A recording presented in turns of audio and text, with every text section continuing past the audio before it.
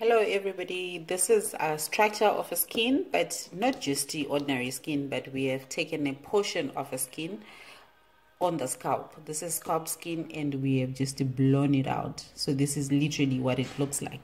But there's so many people that have been asking questions or have been using Feso for so long and I do not have the results that I want.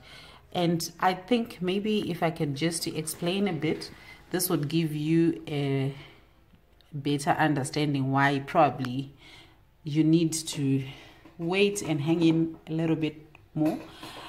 Here this is the skin now um, on this is the part that you see and this is the inside. So once you have had traction alopecia probably you've been damaged by pulling your hair that's traction alopecia and then maybe it's a relaxer that went bad. This is what happens to your skin. It becomes a glabrous skin, which means a, a hairless skin. So that skin that does have pores, so your sweat gland still comes out, but and sweat comes out, but no hair that will come out. So it's a glabrous skin, and that's what happens. So when you now start using Feso, Feso comes in to the skin and starts healing the skin so that it moves from hairless skin to hair bearing skin. So you find that it takes time now. It depends whether how old you are, how healthy you are, the nutrients that you're taking in your food.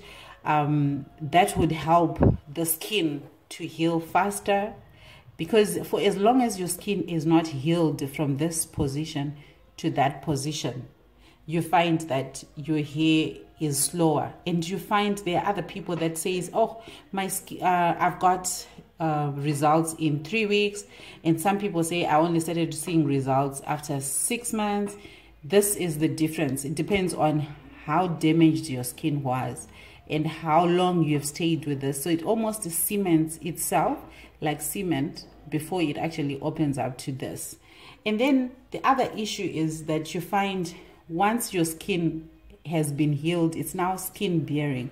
But you find that the pores are still small like this one.